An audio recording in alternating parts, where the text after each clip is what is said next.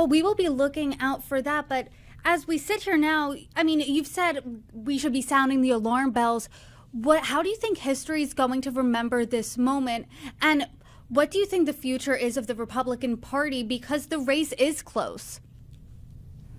Well, the, the future of the Republican Party could depend on a number of things. The outcome of this election, look, as as as bad a performance as Trump delivered last night, this is still a very competitive election. He can win.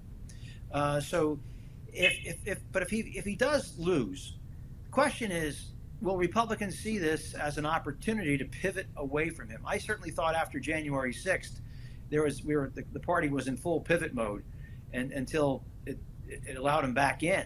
Uh, and so I think after this election, and this is why our Republican legacy is going to stick around. We, we want to make sure that uh, that we have this debate, uh, and I think it's going to be a, um, even more. Uh, it's going to be a, it's going to be a more it's going to be a louder debate. It's going to be a, more vigorous debate after the election, particularly if Trump loses the presidency, and Republicans are going to have to stand there and say, "Here we go again." You know, we haven't won a presidential race you know, it'll be four, the four-year blip of Donald Trump, eight years of Obama, and then you'll have, you know, eight years of, you know, uh, Biden-Harris, and uh, and is this how we want to be known as a party? Is it maybe perhaps a regional party uh, that can, you know, only win in certain areas, and we just don't have a broad enough national appeal, and we have not talked enough about how do we talk to independent and swing voters. And I get back to our core principles. The principles we have been espousing are not just principles that Republicans can embrace, these are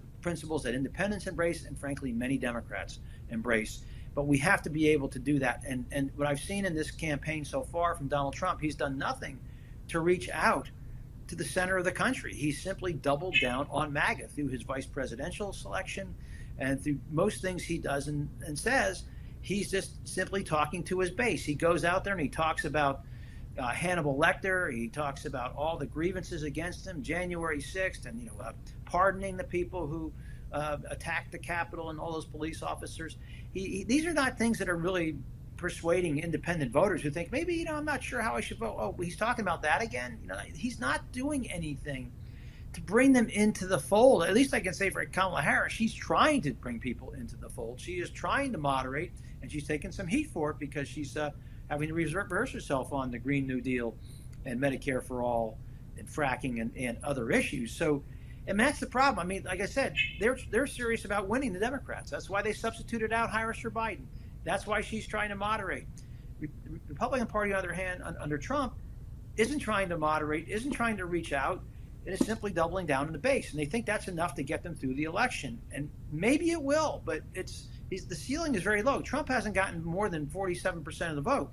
So I, why do we think he's going to do much better this time? You know, we need to party needs to get over over 50%, and we're just not there. So again, this conversation is only going to get louder and angrier if, if the party loses. Well, Congressman, I hope the conversation can continue between you and I between now and Election Day. I really appreciate your thoughts today. Thanks for joining me. Thank you, Brittany.